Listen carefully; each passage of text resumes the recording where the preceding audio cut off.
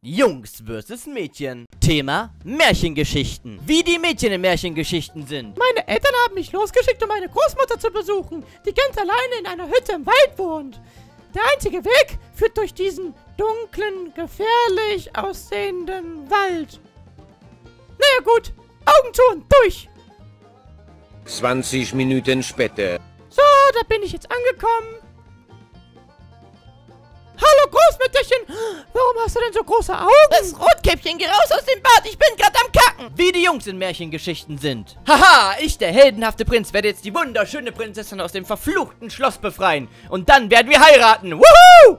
20 Minuten später.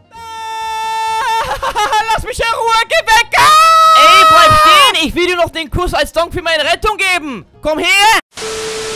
Vergesst nicht den Link in meiner Beschreibung und in meiner Bio. Dann kommt ihr nämlich auf meinen Discord und dann können wir vielleicht zusammen mal reden.